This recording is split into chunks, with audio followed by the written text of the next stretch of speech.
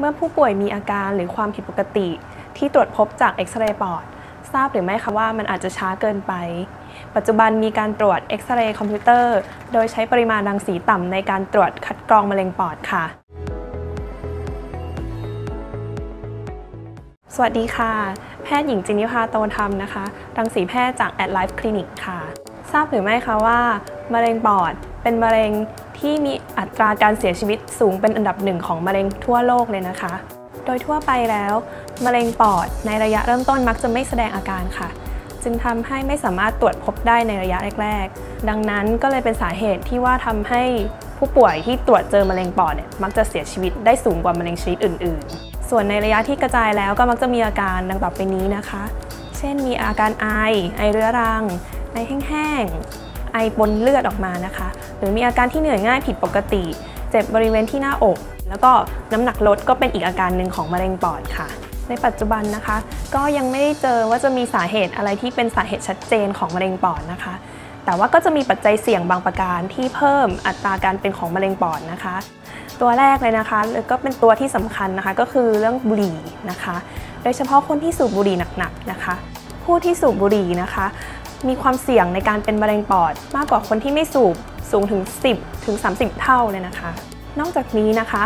แม้ว่าจะไม่ได้สูบบุหรี่เองนะคะ แต่ว่าถ้าเกิดว่ามีคนในครอบครัวสูบบุหรี่ หรือว่ามีคนใกล้ชิดคนที่ทำงานสูบบุหรี่เป็นประจำเนี่ยก็มีความเสี่ยงเหมือนกันที่จะเป็นมะเร็งปอดได้ค่ะ ปัจจัยเสี่ยงอื่นนะคะ ก็เช่น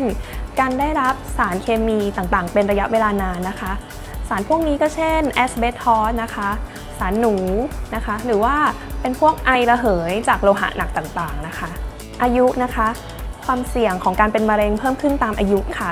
โดยเฉพาะในกลุ่มคนที่อายุ 40 ปีขึ้นไปนะคะ ก็จะพบว่ามีอัตราการพบมะเร็งเพิ่มขึ้นเรื่อยๆค่ะ มีประวัติคนในครอบครัวเป็นมะเร็งปอดนะคะ โดยเฉพาะญาติใกล้ชิด เช่น พ่อแม่หรือว่าพี่น้องนะคะ ก็จะเพิ่มความเสี่ยงในการเป็นมะเร็งปอดค่ะ ในปัจจุบันนะคะ มีการศึกษาทางคลินิก พบว่าการตรวจคัดกรองมะเร็งปอด ด้วยการเอ็กซเรย์คอมพิวเตอร์ โดยใช้รังสีระดับต่ำสามารถลดอัตราการตายได้นะคะ เมื่อเทียบกับการตรวจคัดกรองด้วยเอ็กซเรย์ปอดธรรมดา โดยเฉพาะในกลุ่มเสี่ยงนะคะ สามารถลดอัตราการตายได้ถึง 20%เลยค่ะ ความแตกต่างระหว่างเอ็กซเรย์ปอดแบบธรรมดา กับการตรวจเอ็กซเรย์คอมพิวเตอร์ โดยใช้ปริมาณรังสีต่ำนะคะ เอ็กซเรย์ปอดแบบธรรมดานะคะ ก็จะเป็นการฉายรังสีเอ็กซเรย์ไป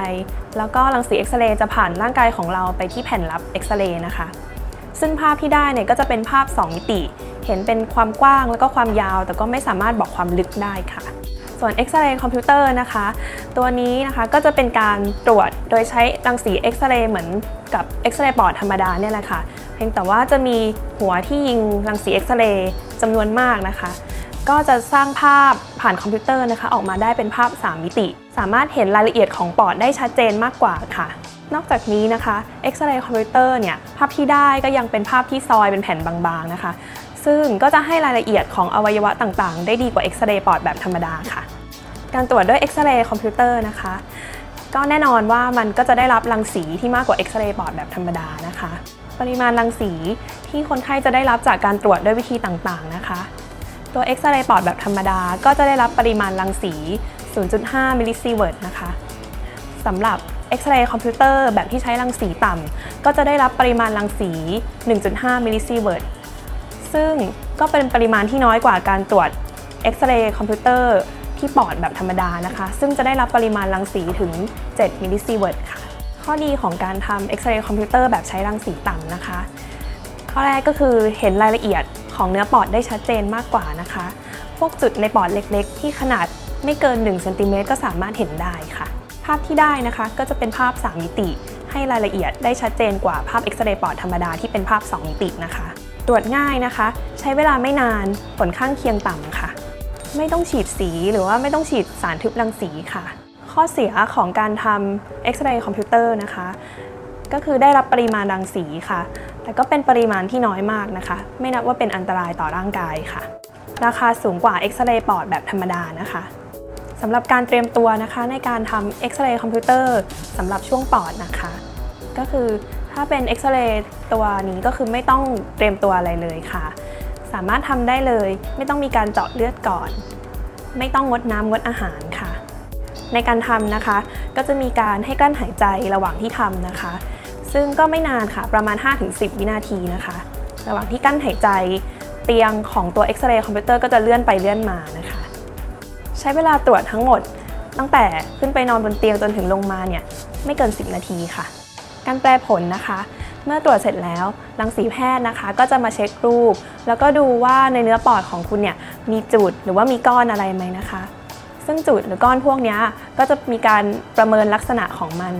ว่ามีลักษณะหน้าตาที่เหมือนเนื้อร้ายไหม ถ้าเหมือนเนื้อร้ายหรือว่าน่าสงสัย ก็อาจจะมีการตรวจอย่างอื่นเพิ่มเติมนะคะ หรือว่าอาจจะให้มีการเจาะชิ้นเนื้อเพื่อส่งตรวจค่ะ แต่ถ้าจุดหรือว่าก้อนที่พบเนี่ยหน้าตาไม่ได้สงสัยว่าจะเป็นมะเร็งอะไร ก็อาจจะมีการให้ตรวจซ้ำอีกทีในปีหน้า ดังนั้นนะคะก็จะเห็นว่าการตรวจคัดกรองเนี่ยมีความสำคัญนะคะ ไม่ว่าจะเป็นผู้ที่อยู่ในกลุ่มเสี่ยง หรือว่าคนที่ไม่ได้อยู่ในกลุ่มเสี่ยงก็ตามนะคะ ถ้าเห็นว่าคลิปนี้มีประโยชน์นะคะ ฝากกดไลค์ กดแชร์ แล้วก็กดติดตาม at Life Clinic ด้วยนะคะ สวัสดีค่ะ